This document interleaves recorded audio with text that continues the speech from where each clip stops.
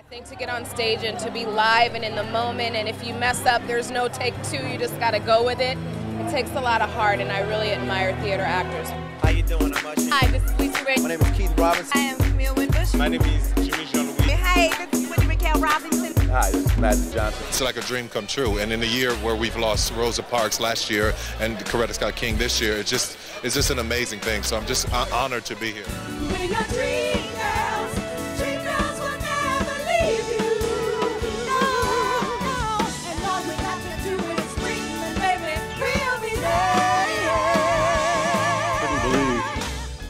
That I deserved this, and I Googled myself, and and as Jason Jason said, over 40 years. These are the originals. Uh, I saw them on Broadway. It was quite a young little girl.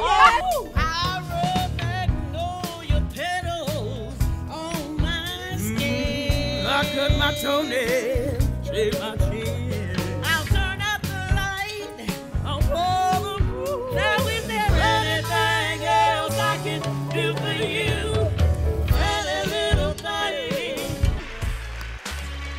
Other nominees, I congratulate you on your success. To all my brothers and sisters that I've had the pleasure of working with, y'all know I love y'all.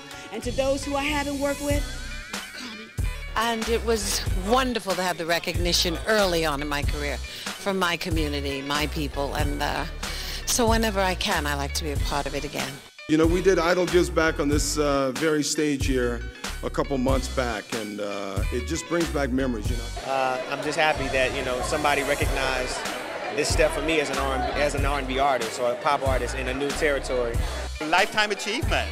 God, how does that feel? Well, it's like I told somebody earlier. I hope it's for the, a half lifetime achievement because I'm not planning on going anywhere. Because the black audiences across the country believed that we weren't a chitlin circuit, that we weren't the leftover pieces from a hog that we were forced to eat when we were on the plantations. They believed that though some people wanted to label it and demean and diminish what we were doing and label it chitlin, they believed that we were actually the finest cut of the meat.